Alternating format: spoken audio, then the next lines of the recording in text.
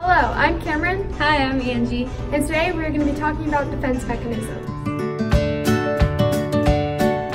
The first thing we're going to be talking about is denial. Denial is simply refusing to acknowledge an event that happened because it was so significant that one can't handle its truth.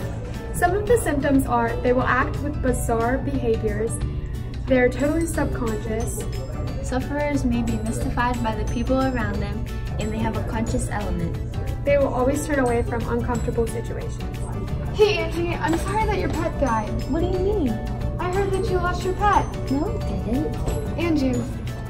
So the second thing we're going to be talking about today is rationalization. Rationalization is the justification of unacceptable behavior, also known as making excuses.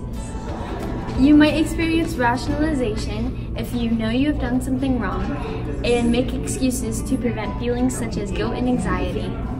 The motivation to rationalize comes from the desire to save oneself from pain and disappointment. Karen, why did you do your homework? Well, I, I didn't do my homework because my, my mom was at home last night, and then I had to go pick up dinner at Domino's. They burnt my pizza, and then I didn't get home super late, and then I had to go pick up my sister, and then I, I got a flat tire, and